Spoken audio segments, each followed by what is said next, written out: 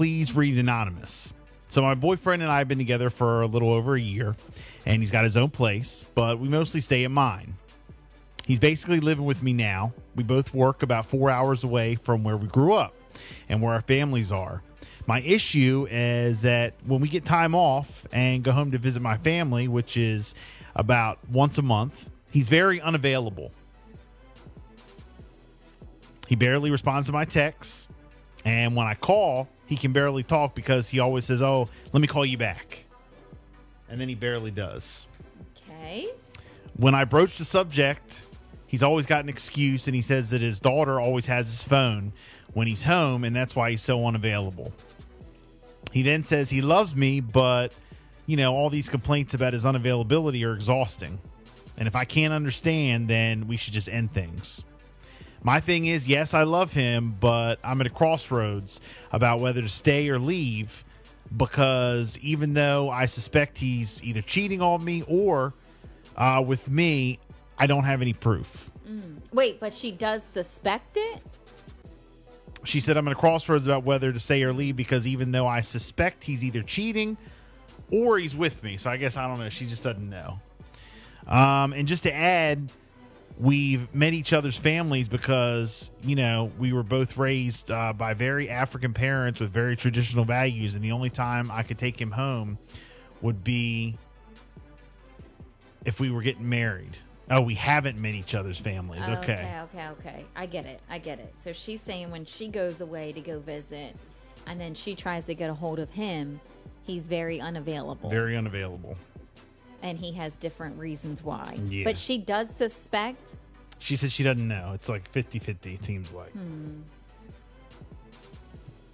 I don't know. Usually your gut feeling will steer you in the right direction if something feels off, something's not right, something's not like sitting well with you. Well, I don't like the fact that he's not answering. And it sounds like Something's up. She's like at a crossroads because she's like trying to make an excuse and go along with it and believe it, but at the same time she knows something's up, but she doesn't have any proof. So she's just like stuck. Just 302 858 5117. Again, boyfriend, been together for a little over a year. He's got his own place, but mainly he stays with her. Um, you know, they work a lot.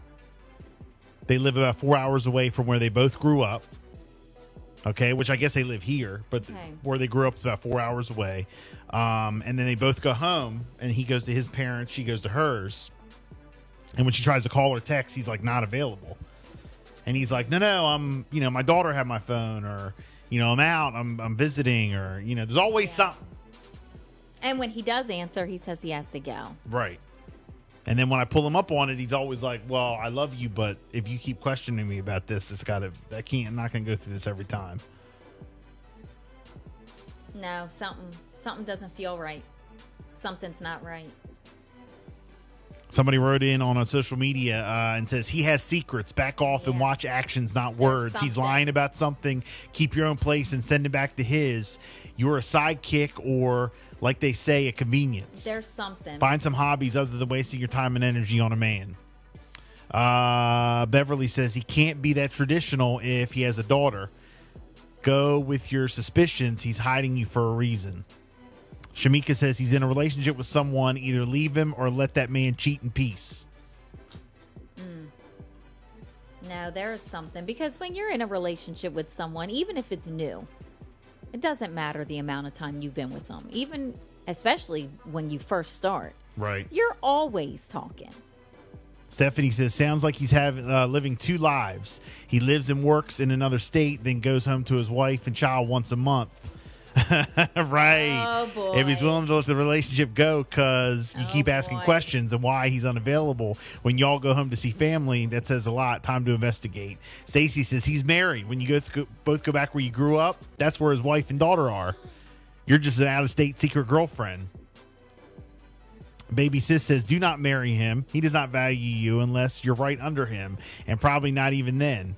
He is meant for fun, not marriage. Courtney says, that man has a whole family. You are the mistress. Mm, the mistress. 302 858 5117.